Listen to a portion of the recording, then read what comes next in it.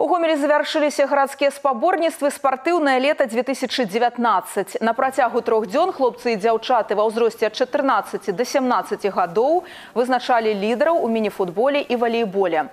У саставе дружын непаўналетнія, якія патрабуюць павышанай увагі. Мэта турніру арганізаваць вольны час дзяцей і прыцягнуць іх да заняткаў фізічнай культурай і спортам. Соревнования эти у нас уже четвертые э, по счету.